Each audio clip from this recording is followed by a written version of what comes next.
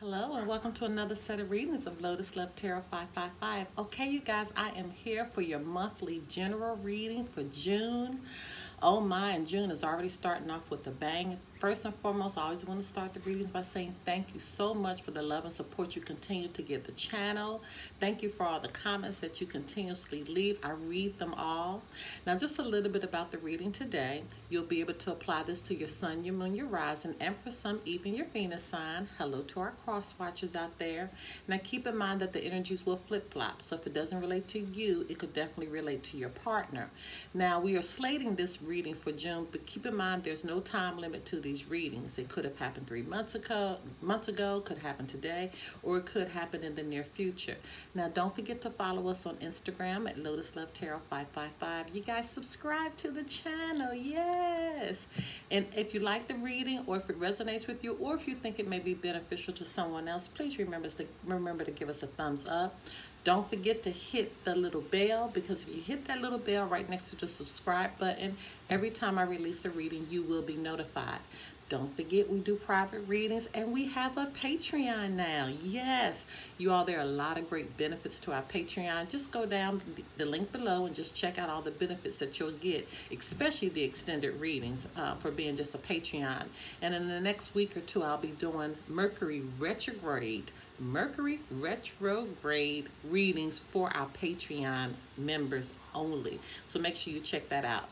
And last but not least, don't forget we have the Lotus Love Show every Monday through Thursday, 9 p.m. Eastern Standard Time.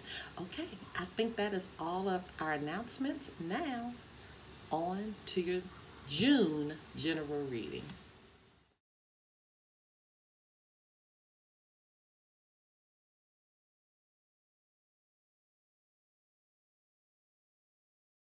Hello, my Leos. Okay, you guys, I am back with your reading. Let me get this straight. There we go. Um, I was looking back at your reading from May, and it says that Leos making the move can be disastrous. It was not the right time for you to make any kind of movement. So, uh, let's see. Hopefully you didn't make a move. Okay, but let's just see where you are for June, okay? All right, Holy Spirit, Divine Creator, Universal Messages, make it four for the sign of Leo as it relates to the June general reading 2020. What messages need to go four for the sign of Leo? Messages need to go four for the sign of Leo? All right, I actually had a flipper. And you guys don't forget to join me every Monday through Thursday, 9 p.m. Eastern Standard Time for the Lotus Love Show. All right, Holy Spirit, Divine Creator, Universal Messages need to go forth for the sign of Leo as it relates to the June General Reading 2020. What messages need to go forth for the sign of Leo?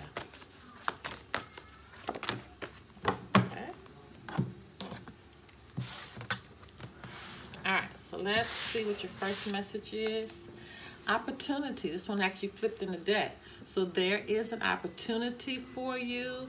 This could uh, relate to anything. Remember, this is a general reading. So there's something that's coming up for you um, that could possibly take your life to the next level.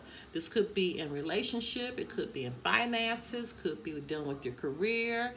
Um, could be a specific job. Could be a skill. Could be a talent that you're going to be able to start um, utilizing. So this could reference to anything. Could be a business opportunity, okay? But there is an opportunity and use your imagination and you'll see the answer, all right? So Spirit has asked you to be creative. You know, really think and ponder in your in your soul and your spirit, using your imagination to guide you, okay, to give you the steps that you need. Beautiful.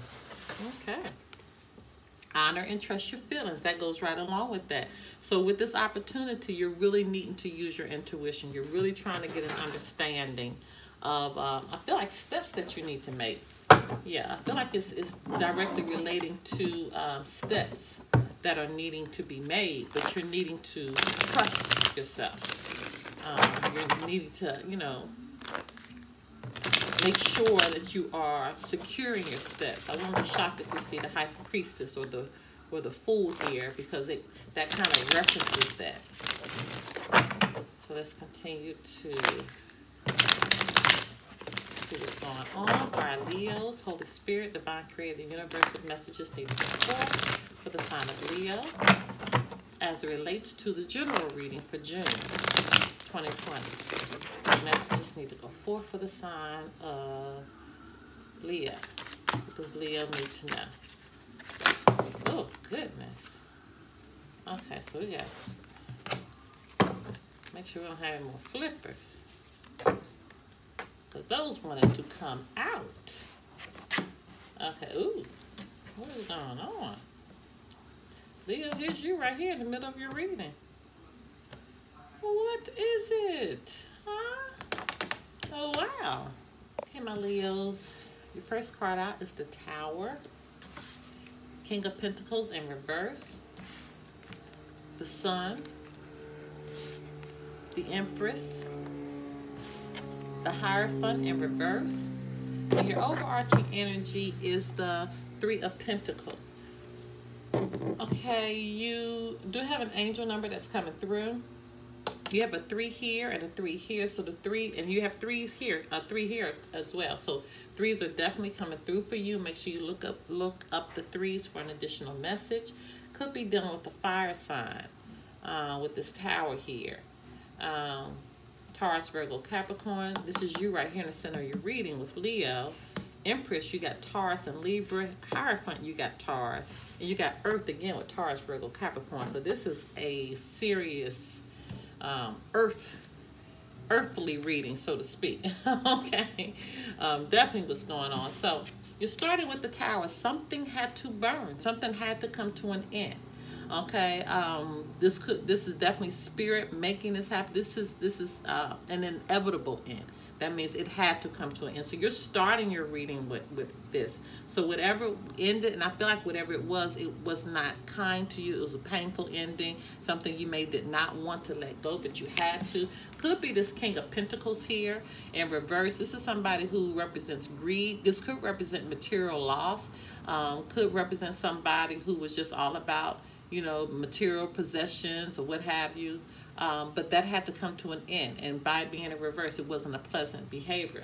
But I think that you were all right letting that go. This could be material items that you just wanted to let go. You wanted to start over again. But it made you happy, okay? Because you got this King of Pentacles now uh, with this with the sun here, and this represents happiness. This represents a joyous outcome. So whatever this was that you let go, it could be an actual person, or it could be just your infatuation with material items. You decided, you know what, I'm going to focus on what's important, and that made you happy. That gave you some type of relief. Okay, and then you couple that happiness with the Empress, which represents abundance, and both are in the upright. So you're you're kind of in this this right space that you need to be in for this opportunity to come in. But you got to make sure you stay in that right energy because it seems here in the center of your reading, you're where you need to be. You're in the right energy. You know, could represent fertility as well with this Empress here. Could represent the time you could get pregnant. Could represent a mother. So a mother could have something to do with the situation. But whatever it is, it represents a joyous outcome okay it represents abundance it represents fertility it represents being able to birth something which could be this new opportunity here. This is huge here okay? Now we got the hierophant in reverse. Um, by being in reverse this could represent a marriage that uh, was going through a divorce. This could represent a breakup um, this could represent just looking at something from a new perspective. This could represent somebody being rebellious. So if this Hierophant in reverse is directly related to a marriage that involved this King of Pentacles, that is truly understandable. And once you broke up, once you got rid of that uh, person, you know, you were happy. You know, you were abundant. You know, you were happy by yourself. But this, by this coming at the end, this is something that you, you're still dealing with or you're, you're needing to deal with. Um, and maybe it may not be all the way done with yet, so you're still feeling some remnants of that. Um, but this opportunity, this is working as a team. This is you realizing that you have the support around you. Um, this is teamwork. This is working with people. This is a group of people coming together. Okay, so this could be a family that uh, you know, working with you to get through a certain thing or trying to help you maybe with this opportunity. Could be a business associate that's needed to help you with an opportunity. But it, you got your pentacles here. So something involving money. Okay, definitely something involving money. With the Six of Wands in reverse, this represents not being paid attention to, uh, represents being overlooked. Um, that's that uh, fire energy, Aries, Sagittarius, Leo. Could represent having excess pride too. Okay, so either represents that you're not being recognized for something, could represent that you may be receiving some karma on something because it represents punishment as well, or it could represent that you have you have too much pride in something, that you're too prideful. Okay, so it could represent any one of those. So if you're seeing those behaviors exhibited in a situation, make sure you put that in check quickly. Okay, so you're needing to go within. You're really needing to, with the hermit here, uh, could represent Virgo, but you're really needing to get spiritual guidance. You're really this is this is trusting your intuition. This is having spiritual illumination. You know, within with with within yourself. This is having you know going within to have clarity. This is trying to understand what your personal truth is. You know, what do you want to do? Um, you know, this is understanding that you know you're being guided by spirit um, that's another thing which is actually beautiful. You know, being guided by spirit, allowing spirit to guide you. This is you, you know, just contemplating. This is you searching for the truth. This is you getting that inner guidance that you need. Oh, see, we got the emperor and, and now the empress, but the emperor's in reverse. So this could be the marriage right here. But who uh, whoever's representing this Empress energy, is they're not they're not. See, you got the Emperor, the Empress, and then you got the Hierophant in reverse. So that's definitely a, probably a marriage, a divorce, a breakup, um, a higher commitment that wasn't given in a relationship.